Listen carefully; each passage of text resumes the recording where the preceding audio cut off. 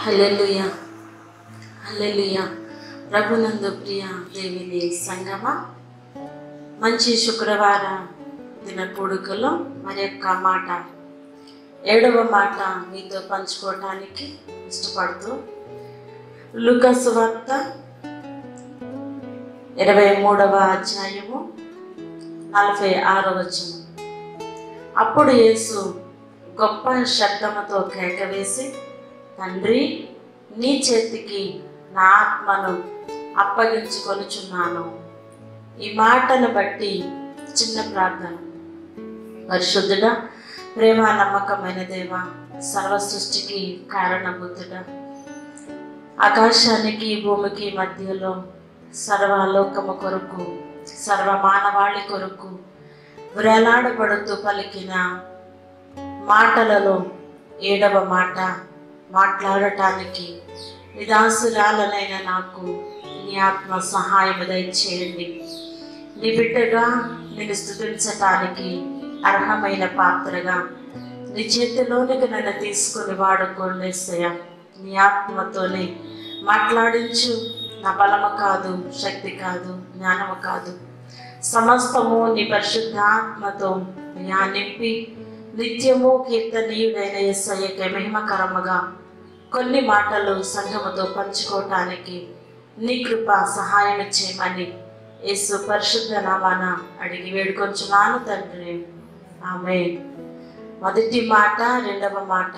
అలాగే ఏసయ్య సిలువలో పలికిన ఏడు మాటల్లో ఏడవ మాట మాట్లాడటానికి దేవుడు తన కృపను బట్టి నాకు ఇచ్చిన ఈ అవకాశాన్ని బట్టి ప్రభువుకి వందనాలు చెల్లించుకుంటూ ఆయన పలికినటువంటి మాట ఏంటంటే ఏడవ మాట తండ్రి నీ చేతికి నా ఆత్మను అప్పగించుకొచ్చున్నాను.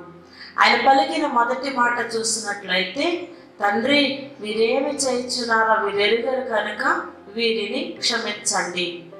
ఏడవ మాట చూసినట్లయితే తండ్రి నీ చేతికి నా ఆత్మను అప్పగించున్నాను. ఆయన పలికిన మాట మొదటి మాటలో తండ్రిని ఈ ఆఖరి మాటలో కూడా తండ్రినే. ఎందుకోనంటే ఆయన ఈ లోకానికి తండ్రి చిత్తము నెరవేర్చడానికి కుమారుడిగా ఈ లోకానికి వచ్చినవాడు. ఎరుషలేములో పస్కా పండుగ ఆచరించడానికి వెళ్ళినప్పుడు తన తల్లితో తండ్రితో ఉన్నప్పుడు ఆయన వాళ్ళు మూడు దినములు ఆ పండుగ అయిపోయిన తర్వాత ఆ మూడు దినములు ప్రయాణం ముందుకు సాగిపోయి వచ్చేసారు. వచ్చేసిన తర్వాత వాళ్ళు చూసుకుంటున్నారు వాళ్ళ కుమారుడు ఎక్కడ ఉన్నాడు? అని. వాళ్ళ దగ్గర లేడు వాళ్ళ బంధువుల దగ్గర లేడు వాళ్ళకు నెలవైన వాళ్ళ దగ్గర లేడు.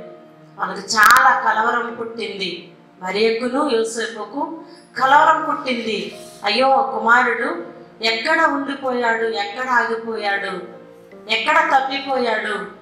మేల మరచి ఇంత దూరము ప్రయాణమే వచ్చేసాము అని వాళ్ళు మరలా ఆ ఎరుషలేములకు వెళ్ళి వెతుకుచున్నప్పుడు ఎక్కడున్నాడు ఎక్కడున్నాడు అని వెతుకుచున్నప్పుడు ఆయన దేవాలయంలో నిలువబడి పరిశుద్ధ గ్రంథాన్ని అక్కడ ఉన్నటువంటి వాళ్ళకు ప్రచురము చేస్తూ వివరిస్తూ ఉన్నాడట.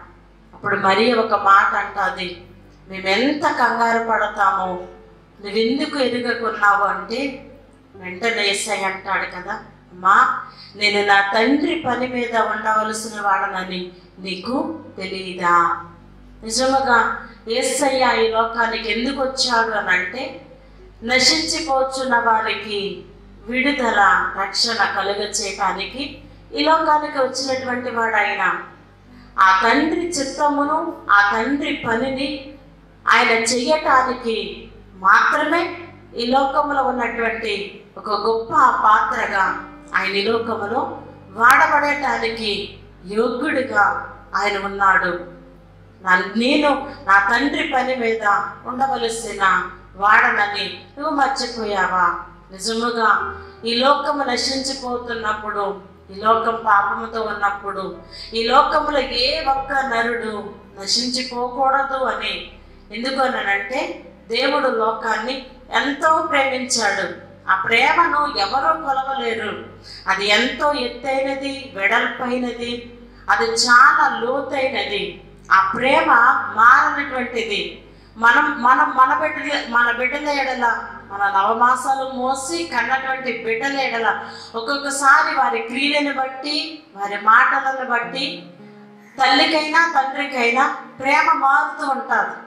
వాళ్ళకు వాళ్ళు ఆ తండ్రికి కానీ తల్లికి కానీ ఆయాసకరమైనవో లేక ఇబ్బందికరమైనవో బాధకరమైనవో ఆ తల్లికో తండ్రికో ఇష్టం లేని మాటైనా పనులైనా చేసినప్పుడు వాళ్ళ పైన కోపం కలుగుతాడు కానీ ఏసయ్య అంటాడు నేను నా తండ్రి పని మీద ఉన్నానని ఎందుకు అన్నాడంటే దేవుడు లోకాన్ని ఎంతో ప్రేమించాడు. అది ఎంతో అన్న మాటకు ఒక హద్దు అనేది లేదు. ఆయన విస్తారమైనటువంటి ప్రేమ. ఎందుకు? ఏ ఏంటి ఆ ప్రేమ అంటే ఎవరు నశించుకోకూడదు నా పోలిక నా బిడ్డలకు ఇచ్చాను నా జీవము నా బిడ్డలకు ఇచ్చాను ఈ సర్వ సృష్టిలో ఆయన జీవమే బ్రతికింపబడుతుంది. ఆయన జీవమే వెలిగింపబడుతుంది. అట్టి జీవము కలిగిన నా ఆత్మ నా బిడలకు నా రూపు నా బిడలకు దయచేశాను కనుక వారి నశించిపోకూడదు. ఒక్కరు కూడా నశించిపోకూడదు. నా బిడలు నిత్యము బ్రతికేటువంటి వారిగా ఉండాలి. నా బిడ్డలు నిత్య రాజ్యానికి వారసులుగా స్థిరముగా ఉండాలి. నా బిడ్డలు ఎలా ఉండాలంటే ఆనందముతో నేను వారితో వారితో నేను కలిసి భోజనపు విందులో పాలు పంచుకోవాలి. ఆకలి దప్పికలు లేని రాజ్యములో నా బిడ్డలు ఉండాలి. నా బిడ్డలు ఎవరో కూడా వెలుపటి వారిగా ఉండకూడదు. అగ్నికి అగ్ని చేత కాల్చివేయబడేటువంటి వారిగా ఉండకూడదు. దీని నుండి తప్పించటానికి దీని నుండి విడుదలవ్వటానికి తండ్రి అంటాడు కదా యేసయ్య నేను నా తండ్రి పని మీద ఉండవలసిన వాడను. సుధమ గుమారా గూర్చి యెహోవా సెలవిచ్చినప్పుడు అబ్రహాం అంటాడు అయ్యా ఆ గ్రామములో లేక ఆ పట్టణములో ఆ పట్టణాలలో సుధోమ కుమార రెండు పట్టణాలు. వాటిలో ఒకవేళ నీతిమంతులు ఉంటారు కదా ఆ నీతిమంతులను కూడా నువ్వు నశింపజేస్తావా? అని అడిగినప్పుడు ఆయన అంటాడు కదా ఆ పట్టణములో ఒక్క నీతిమంతుడు ఉంటే ఆ ఒక్క నీతిమంతుడని బట్టి ఆ పట్టణాలను నేను కాల్చివేయకుండా కాపాడతాను అంటాడు. ఎందుకో తెలుసా? ఒక్క నీతిమంతుడు కూడా నశించిపోవడం తండ్రికి మాత్రం కూడా ఇష్టము కాదు. దయ కలిగిన తన ఆత్మతో సమభూమిగా ఆయన మనలను నిలువబెట్టడానికి మన పాదములు తొట్టిల్లిపోతున్నప్పుడు ఆయన పట్టుకోవటానికి మనం తప్పిపోతున్నప్పుడు ఆయన సరి చేయటానికి ఆయన లోకానికి వాక్యమైన వాడే మనతో మన మధ్యలో నివాసం ఉండటానికి వచ్చిన వాడు వచ్చిన ఆయన వాక్యమైన దేవుడు. ఆయన వెలుగైన దేవుడు. ఆయన ఉప్పయున్న దేవుడు.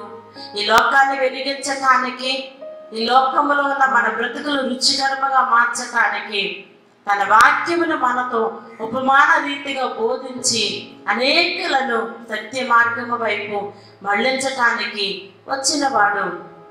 ఈ సర్వలోకము ఆయననే చూడాలని ఈ సర్వలోకము ఆయనని స్థుతించాలని ఆ తండ్రి చిత్తమును నెరవేర్చటానికి కుమారుడిగా ఈ లోకములో పుట్టినటువంటి వాడు ఆయన ఆయన పలికినటువంటి మాట తండ్రి నీ చేతికి నా ఆత్మను అప్పగిస్తున్నాను. ఎందుకో తెలుసా? తండ్రికి ఎహోవా పెట్టిన దీపము ఎహోవాయే తీసుకోవాలి. ఆయన పెట్టాడు దీపాన్ని. ఆ దీపం మరలా తీసుకునే అధికారం ఎవరికి ఉందంటే ఆ దీపం పెట్టిన వాళ్ళకే ఉంటుంది. మరి ఎవరికి ఆ అధికారము ఉండదు దేవునికి వ్యతిరేకముగా రూపించబడిన ఏ విధ ఆయుధము ఈ లోకములో వర్దిల్లదు దేవుని కృప మాత్రమే. ఈ లోకాన్ని ఏలుతూ ఉంటుంది. మొదటి మాట ఆయన ఒక కఠిన హృదయము కలిగిన వారిని కరిగించింది. బండలాంటి హృదయము కలిగిన వారి హృదయాలను పగులగొట్టింది. మోసగాళ్ళకు విడుదలనిచ్చింది ఈ లోకంలో అనేకమైనటువంటి వ్యర్థమైనటువంటి వాటిపైన ఆశ కలిగినటువంటి వారు సహితము ఆ క్షణాన మారిపోయారు. తండ్రి వీరేమి చేయించున్నారు వీరెరుగరు వీరు పరిశుద్ధిని శ్రమ పెట్టుచున్నారని వీరికి తెలియదు వీరి మెస్సయ్యను సిలువ వేస్తున్నారని వీరికి తెలియదు. వారు విన్నారు చూస్తారు కానీ వారి హృదయములకు గ్రహింపు లేక ఇట్టి రీతిగా వాళ్ళు కేకలు వేస్తున్నారు. యేసును సిలువ వేయండి సిలువ వేయండి అని కేకలు వేస్తున్నారు. అందును బట్టి వారిని శిక్షించొద్దయ్యా ఇది నీ చిత్తము కాదు కదా. ఈ సర్వములో ఉన్నటువంటి పాపాన్ని నేను భరించటానికి.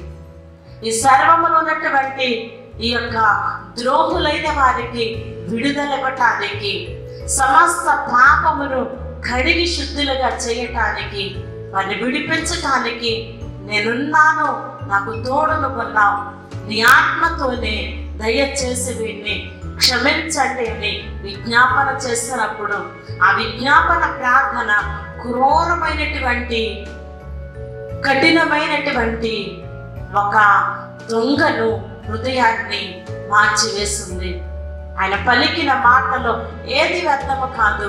ఆయన శిక్షణ అనుభవిస్తూ అందరూ ఎలాగో అని అంటే సంపూర్ణముగా శిక్షను అనుభవించిన వాడాయన రిగాలు మొదలుకొని నడినెత్తి వరకు కొరడా దెబ్బలతో ఇనుప చేలతో ఆయన గుచ్చబడి కొట్టబడి నెట్టబడి ఒక మాంసపు మొత్తంగా మారిపోయిన రక్తము ధారలుగా కారుచున్న ఘోరమైన యాతన పడుతున్న.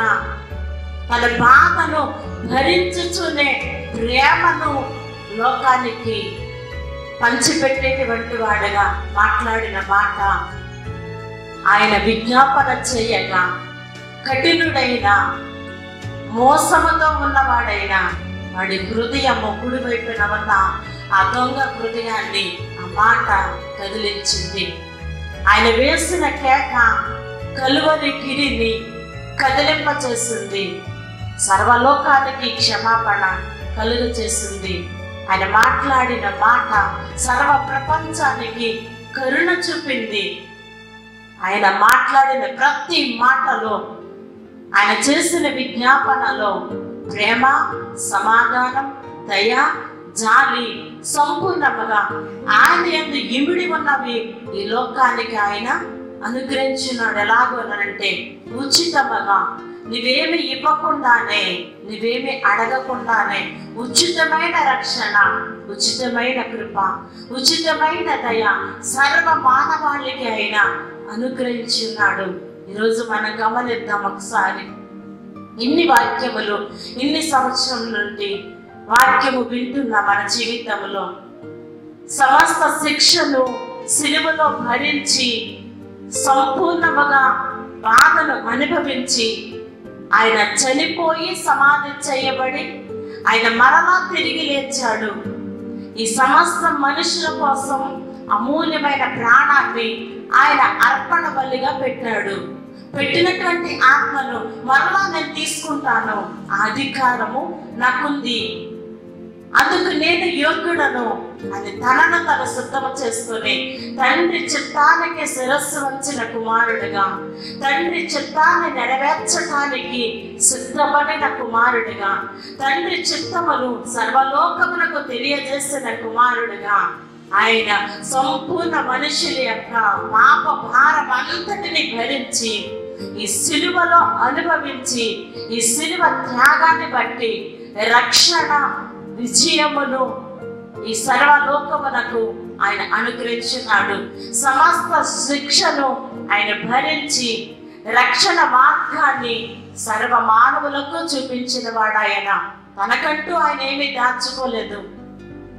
తనకంటూ ఆయన ఏమీ కూడా తండ్రి ఎదుట దాగి ఉన్నవాడు కాదు. ఆయన సంపూర్ణ హృదయముతో ఈ లోకానికి వచ్చిన పనిని సంపూర్ణముగా నెరవేర్చి ఇదిగో ఇక నా పని ఏంటి అని అంటే నేను నీ దగ్గరకు రావలసిన వాడను. నేను సమాధి చేయబడి సమాధిలో ఉండిపోయేటువంటి వాడన కాదు.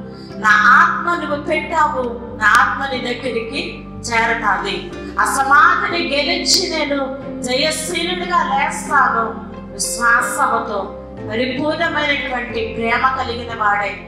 తండ్రి మాట నెరవేర్చిన వాడై.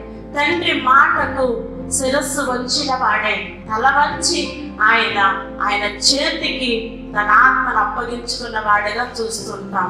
ఈ లోకములో ఎంతో ఘోరమైన పాపపు దినాలు. ఈ లోకములు ఏలుబడి చేస్తున్న అపవాది అనేక రీతిలుగా మన హృదయాలను మోసపుచ్చటానికి మన తలంపులను మార్చటానికి మన మార్గాలు చెరపటానికి ఈ లోకములో అనేకమైనటువంటి ఆశలు కల్పిస్తూ ఉంటాది. కానీ ఏసయ్య ముప్పై మూడున్నర సంవత్సరం ఈ లోకములో ఉన్నా ఈ లోకము పాపముతో ఉన్న పాపము పాపుల మధ్యలో ఉన్నా ఆయన పాపిగా మారలేదు. ఒక పాపిని మార్చాడే తప్ప ఆయన ఏమాత్రం పాపపు మార్గములు పాపపు మాటను పాపపు జీవితాన్ని ఆయన ఎన్నడూ కూడా తనకు అంటకుండా బ్రతికాడు. ఇలాంటి బ్రతికే ఇలాంటి సమర్పణే ఈ మార్గములో ప్రతి మనుషుడు ఉన్నట్లయితే ఇదిగో ఈ శిలువ రక్షణ ప్రతి ఒక్కరికి అనుగ్రహపడతాది అని ఆయన పలికిన ఏడవ మాట. ఇదిగో తండ్రి నీ చేతికి నా ఆత్మను అప్పగిస్తున్నాను. ఇక నీ చిత్తం సర్వములు సమస్తములు నీ చిత్తం. నీ చిత్తాన్ని నెరవేర్చిన వాడనగా ఇదిగో మనుషుల పాపాన్ని భరించిన వాడగా ఇదిగో ఈ యొక్క శిలువ ద్వారా ప్రతి మనిషికి రక్షణ అనుగ్రహించిన వాడిగా నా తండ్రికి లోబడిన వాడిగా నేనున్నానయ్యా. నా ఆత్మను మీరు అంగీకరించండి అని తండ్రికి మరో పెట్టిన వాడిగా ఏడవ మాటను చూస్తూ ఉంటాం. ఆయన చేసిన విజ్ఞాపన ఆయన చూపిన విమోచన ఆయన అనుగ్రహించిన ఆదరణ ఆయన చేసిన వియోగము అనుభవించిన వియోగములు ఆయన ఇచ్చిన జీవాన్ని తండ్రి చిత్తం తండ్రి చిత్తం సమస్తములో తండ్రి చిత్తమే భూమికి ఆకాశానికి కర్త. ఆయన దావిది అంటాడు కదా కొండల తట్టు కళ్ళెత్తుచున్నాను నాకు సహాయం ఎక్కడి నుండి వస్తుంది? కొండలను గుట్టలను చెట్లను చూస్తే నాకు సహాయం కలగదు. అవి వ్యర్థము. ఈ సృష్టిని కాదు నేను పూజింపవలసింది. ఈ సృష్టిని కాదు నేను అడగవలసింది. ఈ సృష్టిని కాదు నేను సేవించవలసింది. ఆకాశానికి భూమికి కర్త ఎవరు? ఆయనని నేను కనుగొన్నాను. ఆకాశానికి భూమికి కర్త ఆయనే ఎగోవా ఆయన ఉన్నవాడు అనేవాడు. ఆయననే నేను స్థుతిస్తాను అన్నాడు. అదే రీతిగానే ఏసయ్య తన సర్వమును సమర్పించుకుని మరణపు ముళ్ళు విరిచి మృత్యుంజయుడిగా రావటానికి ముందుగా. ఈ శిలువ మార్గములో రక్షణ దయచేసిన వాడుగా. తండ్రి చిత్తాన్ని సర్వలోకానికి తెలియజేస్తూ పలికినటువంటి మాట తండ్రి నీ చేతికి నా ఆత్మను అప్పగిస్తున్నాను. వాక్యము వింటున్న మన జీవితంలో. తండ్రి చిత్తానికి మనం లోబడుతున్నామా?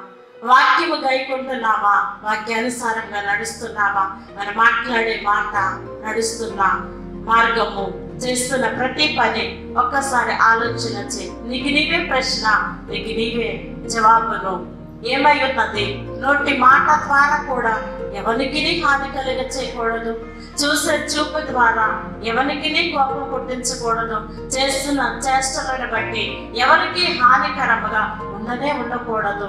ఏసైని పిడిగుద్దులు గుద్దారు ఎగతాళి చేశారు హేళన చేశారు అనేక రీతిలుగా నువ్వు దేవుని కుమారుడు అయితే నువ్వు దిగిరా నీతో పాటు మమ్మలను కూడా రక్షించని ఆ సమయంలో కూడా హేళన చేసిన భరించలేని భారమైన సిలువను మోస్తూ రక్తము దారాలుగా ఇరుషులమి పీటలలో కాల్చబడుతున్నా. ఆ భారం అంతటిని బాధనంతటిని తనకు తనుగా సంపూర్ణముగా అనుభవిస్తూ లోకాన్ని ప్రేమిస్తూ తండ్రిని ఘనపరిచాడు. ఈరోజు ఈ వాక్యము వింటున్న నీవు. నీ జీవితంలో వాక్యమును బట్టి ఓర్పుతో సహనముతో వాక్యము గైకొని నిత్య జీవములో నేను నిన్ను చూస్తానయ్యా. నీతో కలిసి ఉంటానయ్యా. నీవిచ్చిన రక్షణ నీవిచ్చిన రక్షణ నిన్ను వ్యర్థపరచుకోను వ్యర్థపరచుకోదలుచుకోలేదని ఈ రోజు సమర్పణ కలిగి అంగీకారము కలిగి ఈ బ్రతుకు మారాలి ఆట మారాలి. అరికాల మీద కన్నెత్తి వరకు వేసేయ ఎలాగైతే తండ్రికి సమర్పించుకొని ఆయనకు స్థుతికరముగా ఉన్నాడో వాక్యము వింటున్న మనం ఈ త్యాగాన్ని ఎరిగిన మనం ఈ సమర్పణ ఎరిగిన మనం అలాంటి సమర్పణ నిరీక్షణ కలిగి ఉండాలని ఈ కొద్దిపాటి మనవులు దేవుని సన్నిధిలో ముగిస్తున్నాను. ఆమె హల్లెలూయా. చిన్న ప్రార్థన. మమ్మల్ని మిక్కిలి ప్రేమించిన మా ప్రియ పరిశుద్ధుడ వందనాలు ప్రభా. నీ ప్రేమ జాలి గొప్పవి. ఇదిగో నా ప్రభా నువ్వు చేసిన విజ్ఞాపన. నువ్వు చేసిన విమోచన. నువ్వు చూపిన త్యాగము మాయడల గొప్ప విషయం. సర్వలోకములో నీ చిత్తం తండ్రి చిత్తం. భూమి పునాది వేయబడక మునిపే నువ్వున్నావయ్యా మొదటి మాట మాట్లాడిన దాసులు రెండవ మాట మూడవ మాట నాలుగవ మాట మాట్లాడిన దాసులు ఐదవ మాట నిదాసురాలుగా నేను ఆరవ మాట నిదాసులు ఏడవ మాటగా నిదాసురాలుగా మాట్లాడిన. ఈ ఏడు మాటలు మాట్లాడిన దాసులు దాసురాలని మమ్మల్ని ఇంకనూ నీ ఆత్మతో నింపి వాడుకో. ఈ సర్వ ప్రపంచమును పట్టి పీడిస్తున్నా. ఈ కరోనా వైరస్ ప్రభ ఏస్తున్నామముల నైవచ్చే నీ వాక్యముతో సర్వ ప్రపంచమును వెలిగించి నెమ్మదిని రక్షణ స్వస్థత నీ నామమునకే స్థుతికరముగా ప్రతి నాలుక హృదయము మోకాలు వంగి నిన్ను స్థుతించి నీ పాద సన్నిధిలో ధరించి భాగ్యమేమని. అసురాలుగా పంచుకున్న మాటలు. ఇదిగో నా ప్రభు ఈ మాటలు బయటికి వెళ్ళటానికి. అయా షూటింగ్ తీసినటువంటి కుమారుడు ఏమనస్తుడు జ్ఞాపకం చేసుకోండి. కుటుంబాన్ని జ్ఞాపకం చేసుకోండి. ఇది నా సంఘాన్ని పరిచర్యను ఇది ఆశీర్వాదముతో నింపి అయా నీ సన్నిధిలో సాక్ష్యమే. ఘనమైన దేవుని ఘనకరముగా ఆరాధించే సమయము అతి శీఘ్రముగా ఆత్మ ద్వారా దయచేయమని ప్రార్థన ఆలకించి ప్రతిఫలం ఇవ్వమని ఈ వాక్యము వింటున్న ప్రతి హృదయముతో మాట్లాడి పట్టుకొని మధురమైన జీవితములుగా మార్చమని యేసు పరిశుద్ధ నామన అడిగి వేడుకొంచున్నాను తండ్రి. ఆమె